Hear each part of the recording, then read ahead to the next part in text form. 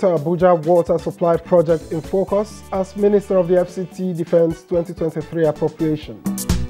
House of Representatives begins investigation into incessant national grid collapse in Nigeria. And House comments use of geospatial intelligence in tackling insecurity. The House of Representatives has begun scrutinizing the 2023 appropriation of ministries, departments, and agencies of government, with the Federal Capital Territory Administration taking the lead. Hello and welcome to you and your reps on the NTA. I'm Victor Azo. Thank you for joining us.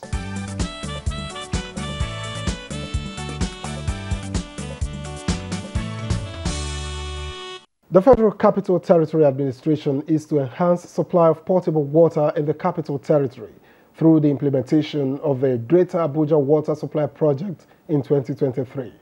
The Minister, Muhammad Bello, appeared before the National Assembly Joint Committee on the Federal Capital Territory to defend the administration's 2023 budget, as Ignatius Nkwo tells us.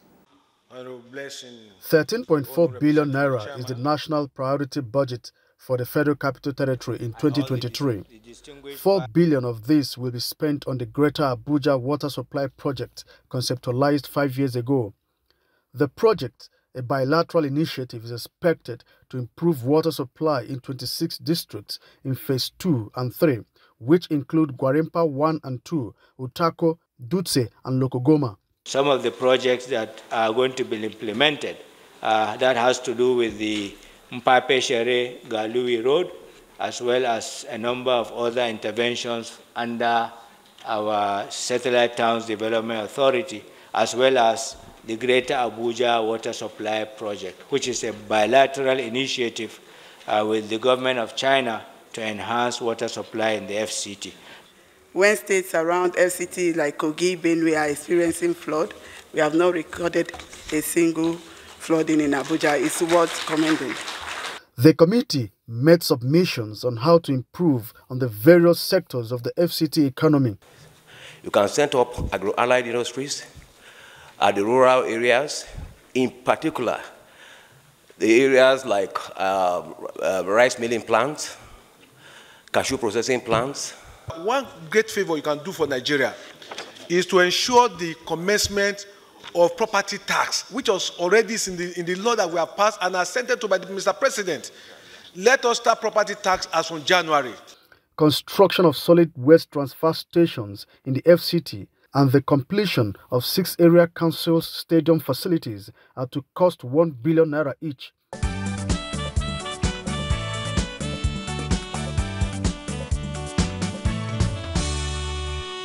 Investments in the power sector, infrastructure, and deep rooted collaboration among operators are the solutions preferred to address the incessant national grid collapse in Nigeria by principal actors.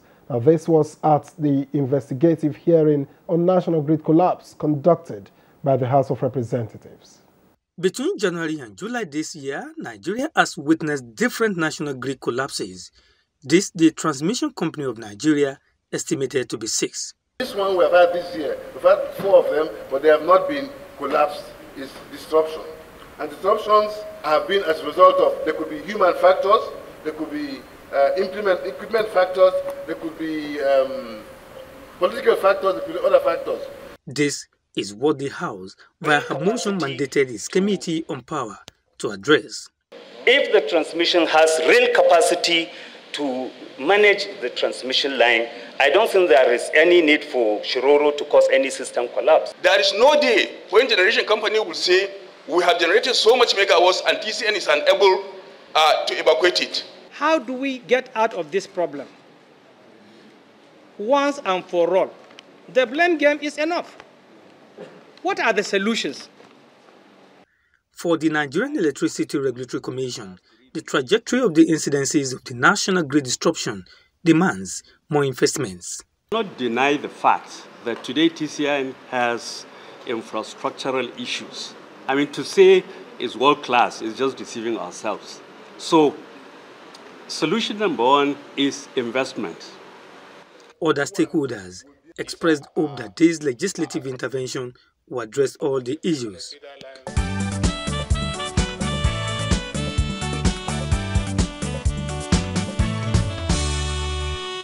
Elsewhere, the use of geospatial intelligence was the game changer in tackling insecurity in Nigeria as it enabled identification and neutralizing of targets with precision. Now, this was the view of the House of Representatives Committee on Defense while oversighting some military agencies in Abuja. We also need to prioritize and make sure that in the forthcoming budget that only things that are priority that will help curb insurgency are what will put on the front burner. The others will look at uh, taming. You understand? So whatever would help fight this insurgency to its logical conclusion are things that we'll prioritize. And we've all agreed with them on that. It's a visit to meet heads of military formations under the purview of the committee, which affords opportunity to assess financial performance vis-a-vis -vis service delivery in line with constitutional mandates, while as the Defense Space Administration, the military agency in charge of security in cyberspace and satellite, the committee was updated on newly acquired facilities, among them the Ground Satellite Recovery Station, the first of its kind in Africa. It's not just for military. It's going to serve border for border patrol. It's going to serve for pollution, uh, population control, demography. It's going to help in, you know, knowing the uh, desertification, how pipeline monitoring, monitoring the trunk roads in the country, and a whole lot of socioeconomic NEMA will key into it, fire service, um, immigration, customs, and many other agencies will key into it. The lawmakers were also at the National Defense College, Nigeria's foremost military training center, which has over the years updated officers in terms of tactics and strategy. We have international participants in our accommodation and the syndicate rooms. At the permanent site, we have so many projects, prominent of which is the academic block. And that project, you know, has been there since uh, 2016, thereabout. Uh, money has been released, but the money being released over time has been uh, in such a piecemeal arrangement uh, that do not uh, permit the completion of the projects.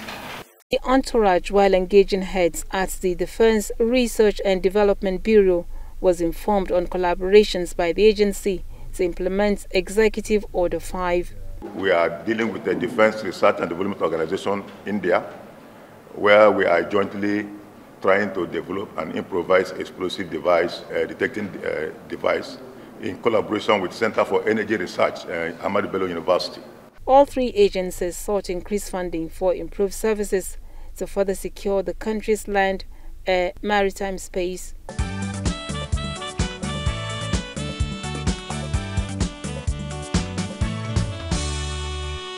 What does the phrase suspension of the rules imply?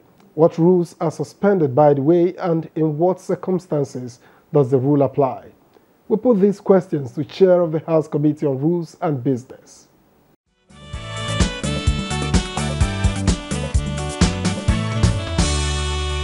For example, uh, one uh, rules that one rule that is, is mostly suspended is Order 8, Rule 4. Order 8 provides for matters of urgent national importance. The rule provides that uh, whenever uh, there's an issue which threatens lives and property of Nigerians, House attends to it immediately. So, whenever an emergency arises, a member wishing to table a motion will now request Mr. Speaker, draw the attention of Mr. Speaker through uh, that, uh, citing that order, Order 8, Rule 4, that he wants to move a motion under that because the matter is urgent. The Speaker will now request that House accepts. Now, even when um, the, the, the House considers that, yes, a matter is urgent, by urgency it means the House will now accept to take that matter immediately, but will suspend deliberation till the next day. But now, members want the matter to be taken immediately, not, not delayed to, to, to the next day. They'll move that, okay, the relevant section be suspended entirely to enable the matter to, to be taken immediately. Once it is done, then uh, when the, that relevant uh, uh, section of the, of the rule is suspended, the matter is taken, then the member is allowed to move that motion and the House will decide immediately on that uh, uh, motion.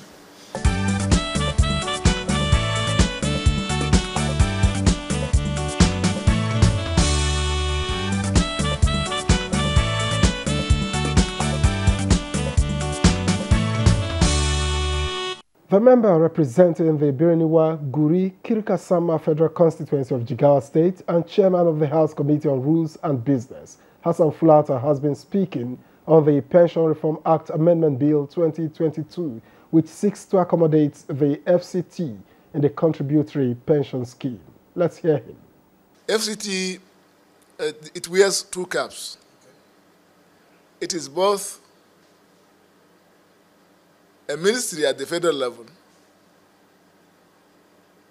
And also, it is also regarded as a state government without a governor.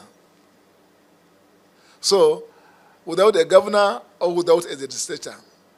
So, the FCT, or the National Assembly now legislates for the federal capital territory the minister of FCT is both a minister and also a quasi, a governor. The National Assembly is also acting as the state assembly for, for, for the FCT. So the FCT minister doesn't, if you look at the budget, he brings his budget directly to the National Assembly. His budget is not contained in, in, the, in the executive budget.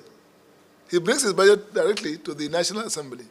Whenever he wants anything, he brings his, the, issues to the National Assembly. So the same thing goes for the pension. We have the National Pension Act, which applies to federal government employees. Now, the various state governments also have enacted their own pension uh, acts. So the, the pension you act that you, this in, you had me reading out, introducing, applies to uh, uh, FCT workers to benefit also the contributory pension uh, uh, arrangement, where every month deductions are effected from from uh, from workers' salary, and then the, the, the, the, government, the FCT administration, now also brings its own share to complement the what was deducted from from from uh, uh, from from from the workers, and then it is saved for the rainy day on retirement you, you are given a lump sum which uh, akin to uh, gratuity. Then the rest is spread over a period of time. Monthly, you are given something that comes in every month into your account as pension. So, so what we did was just for the FCT.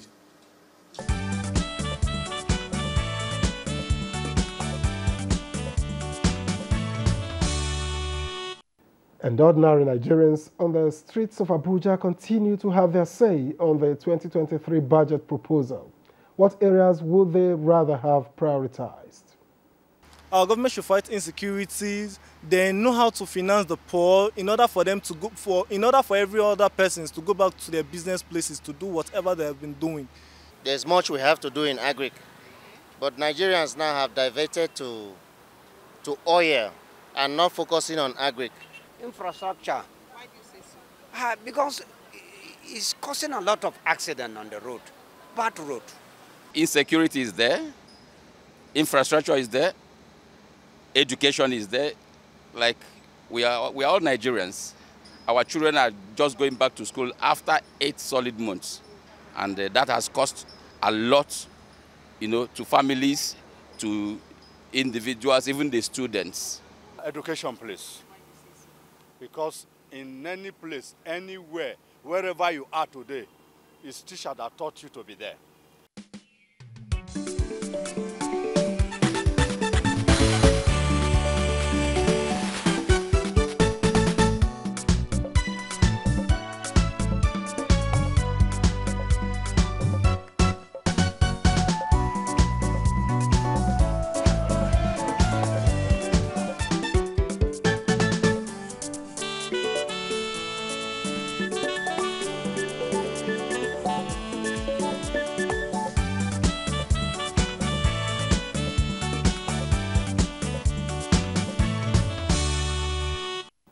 This week on You and Your Reps, the committee segment takes a look at climate change and how the 2023 appropriation might take care of the issues. So we spoke with the sponsor of Nigeria's climate change bill, Now Act, Samuel Onuigbo, to get his views.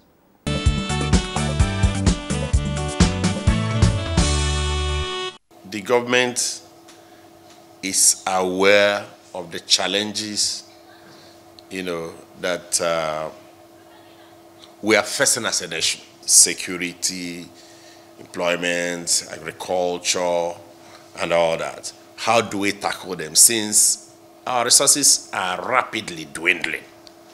So, but to be able to do that, you have to look for uh, money here and there to execute your budget, your budget. And therefore, they are doing all they can to tackle these challenges, even if it means overstretching yourself a little bit in terms of some of the deficits that we are going to incur in trying to implement the budget for 2023.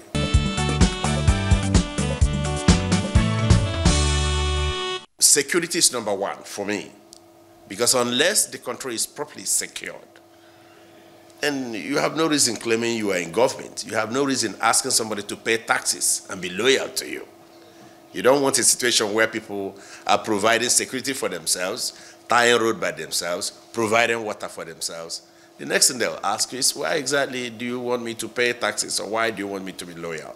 So security is key because it has also the potential to attract investors to know that, okay, their investment is not going to go up in flames if they bring it into the country. So security is key so that we do not have problems coming from farmers and headers, you know, leading to loss of man hour, increased cost of production, loss of revenue, because people are not sure of what is going to happen the next moment.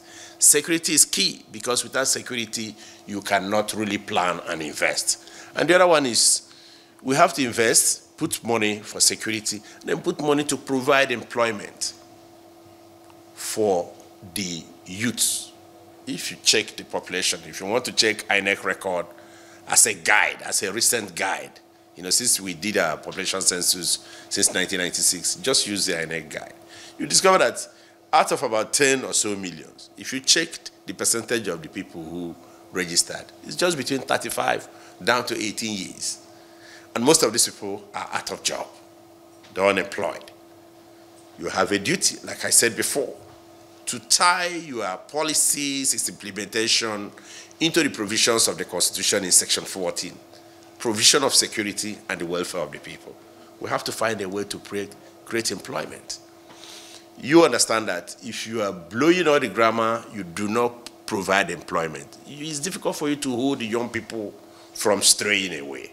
So if I were to implement, I will focus on security, I will focus on creating employment, then you tie into it other areas of production, agriculture, manufacturing, so that truly you have a productive nation and not a nation that is totally dependent on the trickles that come from the Federation Accounts Allocation Committee.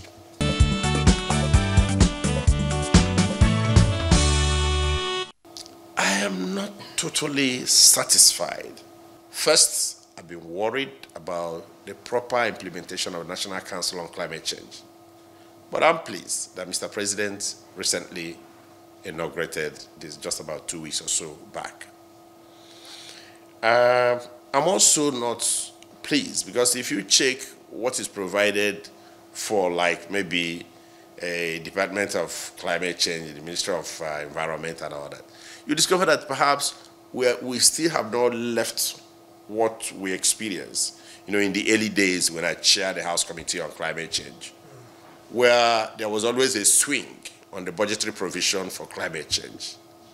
Uh, at some point, about 2016 or so, we had 3 billion. And in the subsequent year, when we worked very hard, we were able to raise it to about 8 billion. Talking about provisions, budgetary provisions for different sectors, you know, MDAs that are tasked with the responsibility of arresting the devastating effects of climate change. But to have such a swing is not healthy. Even right now, I don't even think they have done better So for the president to have inaugurated the National Council on Climate Change, it's a plus. For him to have also appointed the DG, it's a plus. But in my letter, because I did letters both to the Vice President, the Minister of Justice, and SGF, where I raised concerns about non-implementation of the Act, nearly about eight months or so, at the time I did that letter in July, without inauguration, without setting up the group on carbon budget, which is some of the things we're supposed to talk about as we go for COP27. So I was concerned about these areas, but I do believe that, well, we have started, no matter how late, we'll be able to do that. But let me use this opportunity to say that there's need for better and well-coordinated implementation of the National Council on Climate Change so that all the other MDAs, for instance, Minister of Agriculture, Minister of Water Resources, Minister of Petroleum, Women Affairs, Transportation, that they are all carried along. Because any appearance that, okay, the National Council on Climate Change belongs to one ministry or the other, has the potential to discourage the other ministries from bringing their best forward to achieve the lofty ideas, objectives that are contained in the National Council of, on Climate Change. So it's important that we look towards there and ensure it's very, very, very smooth and faithful implementation for the good of all. Today, we have seen the devastating effects of climate change all over the nation, all over the world. So it's a real threat that no one can afford to play with.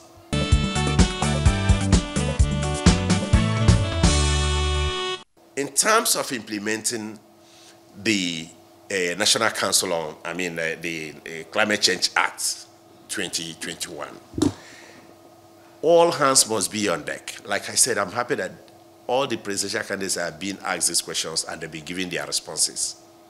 All hands must be on deck. And we have to work as a team. And if you remember, I had mentioned in the past that the reason why we raised the status of the National Council on Climate Change to the level of it being chaired by Mr. President is because we are aware the world is changing and it's changing rapidly with the effects of climate change. And that's why we said Mr. President has to chair the council and his absence, the vice president, so that you're able to bring all the other ministries, you know, on board, along with their ministers. And then the Office of the National Security Advisor, bring him on board, because there is also contained in the Act. The central bank governor, he has to be on board because of the, you know, money that you are going to spend and the impact. And then you also bring the chairman of the Governors Forum on board. He's also there in the act. In addition, the president of uh, National Association of uh, you know, Local Governments of uh, Nigeria all are on board with these ministers to take critical decisions. You can see where we are today.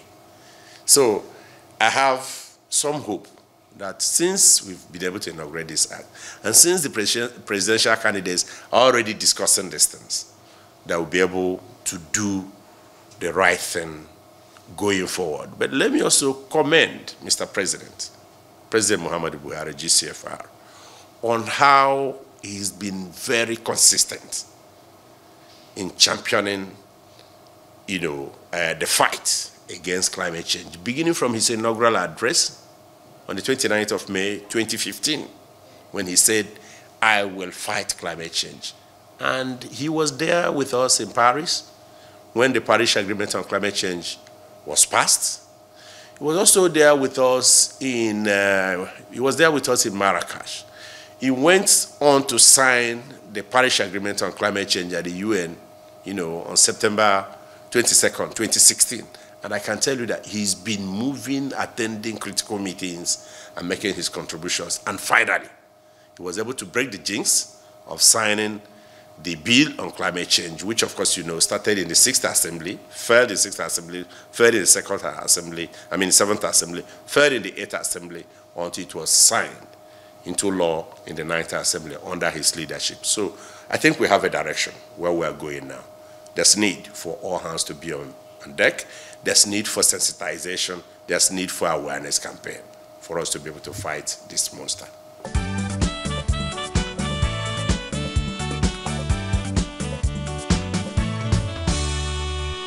Indeed, it's a monster that needs no introduction given the ongoing impact of it. But that's where we leave it on you and your reps. We thank you for watching. I'm Victor, as we'll see you next time.